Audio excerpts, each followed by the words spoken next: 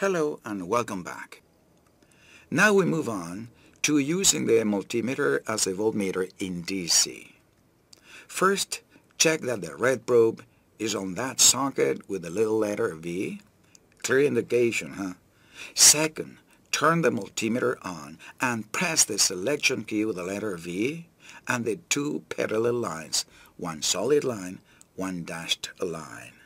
Now apply the probes to the two points in the circuit between which you want to measure the voltage difference. The instrument will read how much higher in volts the red probe is than the black probe.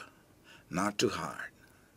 And the question, what happens if the reading is negative? You tell me. That is all for now about the voltmeter. Thank you very much and I hope to meet you again in our next video on the ammeter.